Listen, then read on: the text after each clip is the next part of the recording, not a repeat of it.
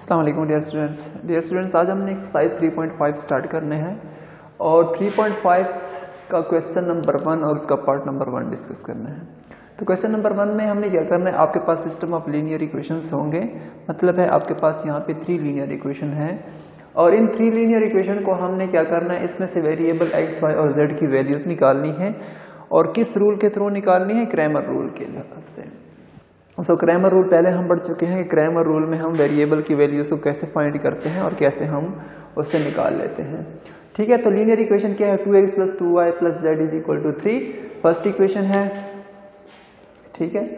इसके बाद है थ्री एक्स माइनस का टू वाई माइनस का टू जेड इसको equation number two is equal to one and five X plus Y minus का three Z is equal to two इसको equation number three कह दें अब क्या करना है स्टूडेंट फ़र्स्ट ऑफ़ ऑल हमने इनके एक कोफिशेंट मैट्रिक्स बनाना है, यानी एक्स, वाई और जेड के जो कोफिशेंट है, उनका अलहदा एक मैट्रिक्स बनाना है। उसके बाद एक्स, वाई और जेड का एक मैट्रिक्स बनाना है और थर्ड मैट्रिक्स हम बी कहते हैं। तो सबसे पहले जो हम काम करते हैं, वो हम कोफिशेंट मैट्रिक्स बनाते हैं और कोफिशेंट मैट्रिक्स से हम वेरिएबल की वैल्यूज़ को फाइंड करने की कोशिश करते हैं।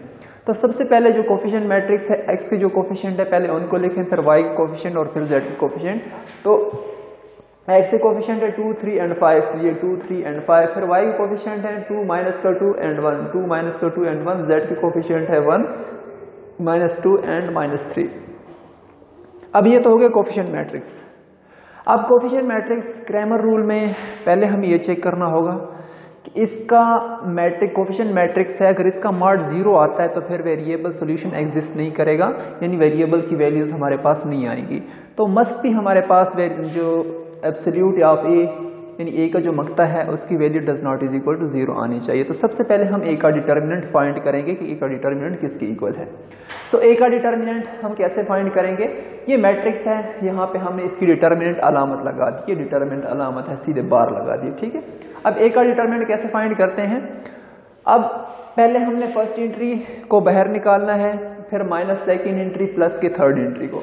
जब फ़र्स्ट एंट्री को बाहर निकालेंगे तो फ़र्स्ट कॉलम और फ़र्स्ट रो को डिलीट कर देंगे। बाकी जो चार एंट्रीज बचेंगी, उनको हम एब्सोल्यूट में लिख देंगे डिटर्मिनेंट में लिख देंगे। फिर माइनस सेकेंड एंट्री माइनस का टू बाहर निकाल दिया। अब इस सेकेंड कॉलम को और फ़र्स्ट रो को डिलीट करना है। सेकेंड कॉलम और फ़र्स्ट रो को डिलीट करके बाकी जो चार वैल्यूज़ आएँगी, उनका हम डिटर्मिनेंट लेंगे। थर्ड हमने क्या करना है? प्लस वन को बाहर निकालना है और थर्ड कॉलम और फ़र्स्ट रो को डिलीट करके बाकी जो दो चार एंट्रीज आएँगी उनका हमने डिटर्मिनेंट लेना है। सो so, पहले हमारे पास टू बाहर है।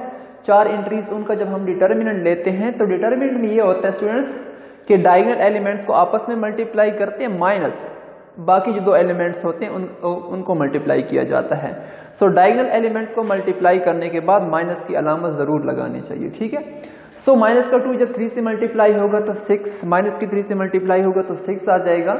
और माइनस का टू माइनस माइनस का टू वन से मल्टीप्लाई होगा तो माइनस का टू माइनस का टू और माइनस क्या हो जाएँगे प्लस का टू हो जाएगा so two into six plus two हो जाएगा माइनस का टू इंटू अब माइनस का थ्री प्लस की थ्री से मल्टीप्लाई होगा तो माइनस का नाइन माइनस का नाइन अब माइनस माइनस का टू जब फाइव से मल्टीप्लाई होगा तो माइनस का टेन बट माइनस फार्मूले वाला है तो उसको प्लस का टेन बना देगा ठीक है प्लस वन थ्री जब वन से मल्टीप्लाई होगा तो थ्री आ जाएगा माइनस माइनस का टू जब फाइव से मल्टीप्लाई होगा तो माइनस का टेन बट फार्मूले वाला माइनस उसको पॉजिटिव बना देगा तो प्लस का टेन आ जाएगा। सो so ये हो जाएगा 16 माइनस का two plus thirteen is equal to twenty seven twenty seven A का एब्सोल्यूट आ गया।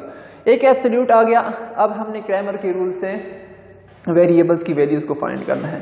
वेरिएबल की वैल्यूज़ को हम कैसे फाइंड करेंगे ये ग्रामर रूल है। जब अगर फ़र्स्ट वेरिएबल की वैल्यू हमने फाइंड करनी हो तो आपके पास ये जो मैट्रिक्स बनता है, इसको हम क्या कहते हैं? यानी थ्री, वन और टू का जो मैट्रिक्स है, इसको कांस्टेंट मैट्रिक्स कहते हैं, ठीक है? ये कॉन्स्टेंट मैट्रिक्स जो है अगर हमने x की वैल्यू फाइंड करनी है तो x के जो भी कोफिशेंट हैं, उनको रिप्लेस करेंगे इस कांस्टेंट मैट्रिक्स से। इसी तरह अगर y की वैल्यू फाइंड करनी हो तो y के जो कोफिशेंट मैट्रिक्स हैं, उनको हम रिप्लेस करेंगे इस कांस्टेंट मैट्रिक्स से। इस तरह z के भी क्या करेंगे, z के कोफिशेंट को रिप्लेस करेंगे इन कोफिशेंट से, ठीक है? सो फ़र्स्ट ऑफ़ ऑल हम क्या करते हैं? हम x की वैल्यू फाइंड करते हैं। ये फार्मूला है कि x की जो कोफिशिएंट है, ठीक है, उनको हम रिप्लेस करेंगे कांस्टेंट मैट्रिक्स से। तो कांस्टेंट मैट्रिक्स में थ्री वन और टू तो यहाँ पे हमने थ्री और वन टू से रिप्लेस किया। उन नंबर्स को, यानी टू थ्री और फाइव को रिप्लेस किया थ्री वन और टू से। और इसका डिटर्मिनेंट ओवर ए का एब्सोल्यूट ओवर ए का डिटर्मिनेंट ए की डिटर्मिनेंट की वैल्यू क्या है? ट्वेंटी सेवन है, ठीक है? सो देखें ट्वेंटी सेवन ए की डिटर्मिनेंट की वैल्यू क्या है? 27 सो ए का डिटर्मिनेंट यहाँ पे बाहर आ जाएगा, बाकी वैल्यूज़ आप इसका डिटर्मिनेंट लें। अब इसका डिटर्मिनेंट जैसे कि पहले हमने ए का डिटर्मिनेंट लिया था, वैसे इसका भी डिटर्मिनेंट लेंगे।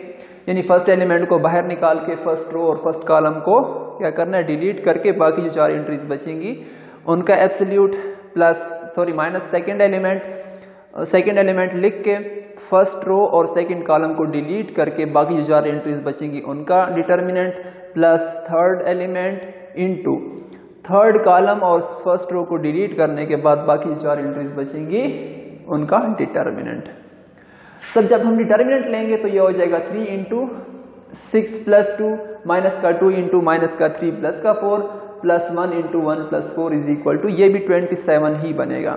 अब 27 बन रहा है और ए का मार्ड क्या है? यानी ए का डिटर्मिनेंट वो भी 27 है। सो so, 27 को जब ए के एब्सोल्यूट से डिवाइड करेंगे ए का एब्सोल्यूट भी सताइस के बराबर है। So, 27 over 27 is equal to one so X की वैल्यू हमारे पास क्या आएगी? वन आएगी। इस तरह हम वाई की वैल्यू चेक करेंगे। वाई के लिए हम क्या करेंगे? वाई के कॉलम्स को वाई के कोफिशिएंट के कॉलम को हम रिप्लेस करेंगे कांस्टेंट के कोफिशिएंट कांस्टेंट कॉलम से कांस्टेंट मैट्रिक्स से ठीक है? कांस्टेंट एंट्रीज जो है, उनसे हम रिप्लेस कर देंगे टू माइनस का टू और वन को। इनकी जगह हमने क्या लिख देना है? थ्री वन एंड टू ठीक है? थ्री वन टू हमने लिख दिया। बाकी एंट्रीज वैसी हैं। और साथ में क्या है? डिवाइड करना है ए के डिटर्मिनेंट से।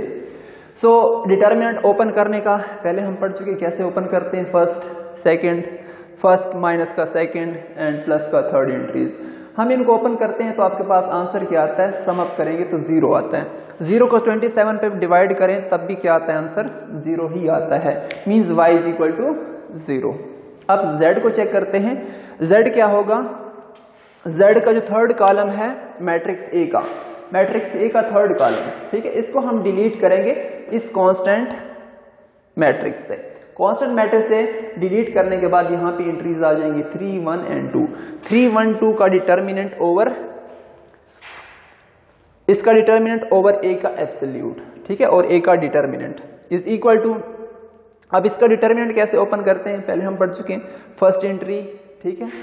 फ़र्स्ट कॉलम और फ़र्स्ट रो को डिलीट करना है, बाकी जो चार एंट्रीज बचेंगी वो लिख देंगे और उसके डिटर्मिनेंट लिखेंगे माइनस का सेकेंड एंट्री सेकेंड कॉलम और फ़र्स्ट रो को डिलीट करना है। बाकी जो चार एंट्रीज बचेंगी, उनका determinant plus third entry into third column और फ़र्स्ट रो को डिलीट करना है। बाकी जो चार एंट्रीज बचेंगी, उनका क्या लेना है? डिटर्मिनेंट तो इस तरह आपके पास क्या आएँगी? टू इंटू माइनस का फोर माइनस वन माइनस का two into six minus five plus three into three plus ten is equal to, ये भी ट्वेंटी सेवन ही बनता है। ट्वेंटी सेवन है ट्वेंटी सेवन को एक एब्सोल्यूट से हम क्या करेंगे? जब डिवाइड करते हैं, एक एब्सोल्यूट किसके बराबर है? ट्वेंटी सेवन के। सो ट्वेंटी सेवन को जब ट्वेंटी सेवन पर डिवाइड करेंगे तो आपके पास आंसर बन आएगा। मीन्स आपके पास क्या आएँगे? Z is equal to one so अब देखें X is equal to one आया, y is equal to one आया। Z is equal to one आया। ठीक है? तीनों वैल्यूज़ हमारे पास आ गई एक्स वाई और z की। यही वैल्यूज़ हमने फाइंड करनी थी। अब अगर आपने चेक करना है कि ये वैल्यूज़ जो हमने फाइंड की हैं, क्या ये राइट है या रॉन्ग है? ठीक है? तो हम क्या करेंगे? हमने यहाँ पे देखना है इक्वेशन वन टू और थ्री इनमें ये वैल्यूज़ पुट करते हैं। ठीक है? आपके पास x की वैल्यू क्या आ रही है? वन आ रही है, y की वैल्यू ज़ीरो आ रही है और z की वैल्यू ज़ीरो आ रही है। आपके पास इक्वेशन वन जो है वो two X plus three Y plus Z है। Two X plus two Y plus Z is equal to three हमने ये इनइक्वलिटी इक्वलिटी को प्रूव करना है कि जब हम यहाँ पे x की वैल्यू पुट करेंगे तो L H S is equal to R H S आएगा। सो so, 2 और x is equal to one है तो x की जगह वन पुट किया 2 इंटू वाई की जगह ज़ीरो पुट किया प्लस जेड की जगह वन पुट किया is equal to three so two को जब वन से मल्टीप्लाई करेंगे तो टू आ जाएगा टू को ज़ीरो से मल्टीप्लाई करेंगे तो ज़ीरो आ जाएगा plus one so two plus one कितना होता है? Three so three is equal to three means हमारे पास ये जो वेरिएबल्स की वैल्यूज़ आ रही है, ये क्या है? करेक्ट हैं। तो आप ऐसे चेक भी कर सकते हैं। बाई क्रैमर रूल से आप ऐसे फाइंड भी कर सकते हैं। क्या करना है? क्रैमर रूल से कि पहले पहले हमने ए का डिटर्मिनेंट मालूम करना है। डिटर्मिनेंट मस्ट भी नॉन ज़ीरो होना चाहिए। अगर ज़ीरो आ गया तो फिर वेरिएबल्स की वैल्यू फाइंड नहीं होगी, यानी सोल्यूशन उसका एग्जिस्ट नहीं होगा। नेक्स्ट आपने क्या चेक करना है? नेक्स्ट आपने ये देखना हो कि वेरिएबल्स की वैल्यू हमने फाइंड करनी है बाई क्रैमर रूल से। वो कैसे करते हैं कि जो कांस्टेंट मैट्रिक्स होता है, अगर x की वैल्यू फाइंड करनी है तो x के जो कोफिशेंट होते हैं, उनको हम रिप्लेस करते हैं कांस्टेंट मैट्रिक्स से। ठीक है? ये अपने पास कांस्टेंट मैट्रिक्स होता है। ठीक है? जो बराबर की दूसरी साइड पर होता है। इसी तरह जब y की वैल्यू फाइंड करते हैं तो y कोफिशेंट जो है, उसको डिलीट करते हैं। ये कोफिशिएंट मैट्रिक्स है और z की वैल्यू जब फाइंड करते हैं तो z की जो इंट्रीज होती हैं, z के जो कोफिशिएंट होते हैं, उनको हम डिलीट करते हैं z के इस कांस्टेंट मैट्रिक्स से और एब्सोल्यूट तो इस तरह आपके पास x, y और z की वैल्यूज़ आ जाती हैं। तो स्टूडेंट्स ये तो था हमारा लेक्चर नंबर सिक्स और एक्सरसाइज थ्री पॉइंट फाइव का क्वेश्चन नंबर वन था। इनशाला हम नेक्स्ट वीडियो में नेक्स्ट लेक्चर में क्वेश्चन नंबर टू को डिस्कस करेंगे। तो उम्मीद है बच्चों, आप लोगों को समझ आ गई होगी।